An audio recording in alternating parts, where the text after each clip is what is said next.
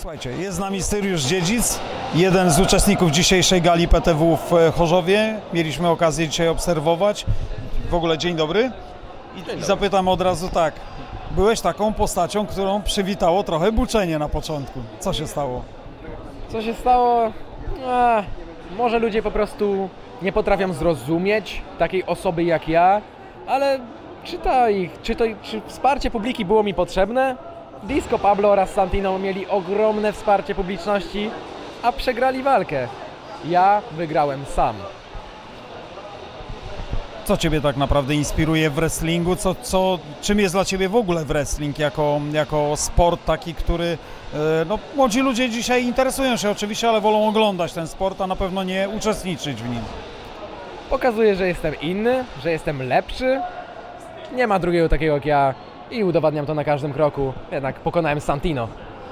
No właśnie, jak, jak to jest wyjść do takiej gwiazdy, która ma za sobą właśnie występy w WWE, w największych organizacjach i mm, widać, że to jest showman z krwi i kości. To było widać na wyjściu chociażby dzisiaj. Eee, to już emeryt. Santino to jest przeszłość. Dziś ja go pokonałem i to ja jestem prawdziwą legendą wrestlingu. No, mocne słowa. Teraz tak, e, jak będzie wyglądała przyszłość wrestlingu w Polsce, jeśli, mm, e, jeśli organizacja będzie się rozwijać, będzie robić takie eventy jak dzisiaj, pas organizacji to jest cel?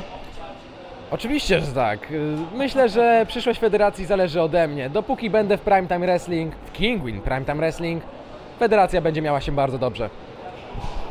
Myślę, że jesteś w stanie zainteresować młodzież, ludzi, którzy do tej pory nie, nie interesowali się wrestling, wrestlingiem?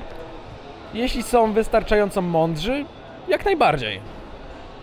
Słuchajcie, mądrzy ludzie, jeśli chcecie zainteresować się wrestlingiem, jak najbardziej oglądajcie tego chłopaka. Dzisiaj fantastyczna gala w Chorzowie, e, PTW, coś niesamowitego, bo wrestling powrócił w wielkim stylu, między innymi dzięki takim zawodnikom. No i co, życzę powodzenia, no i pasa organizacji. Oczywiście, dziękuję.